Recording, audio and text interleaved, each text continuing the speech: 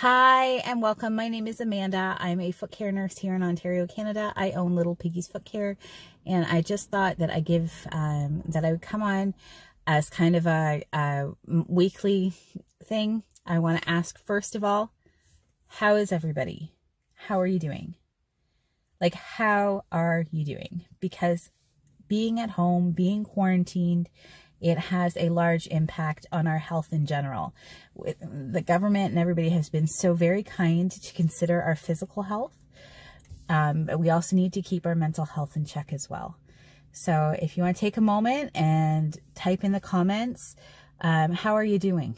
Like, I, I, I don't, I, you can type ugly stuff if that's what's happening because let's face it, it's really difficult being stuck in a home all the time. In fact, I walked over into my car to get away from little voices. so I get it, um, kind of, sort of. So now that we've uh, been honest, for me, it's been really challenging because I am an extrovert. I like to be with people. I like seeing people and I miss people like crazy. I miss my family. It's my dad's birthday and I had to miss that. Um, I did get a chance to go down and put stuff on his door after sanitizing it and wearing a mask and the whole kit and caboodle, getting back in the car and coming right home. Um, and it hurt a bit.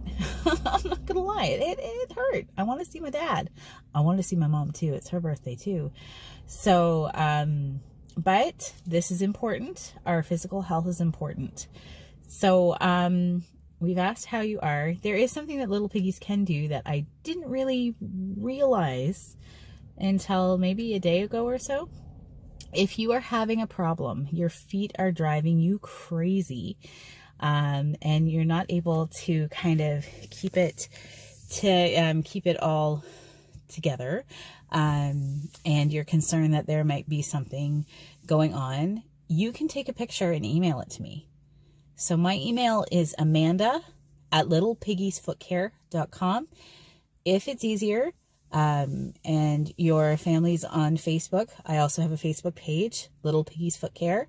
I have a website, littlepiggiesfootcare.com, and I have a YouTube channel. So you are welcome to um, communicate in any way across that.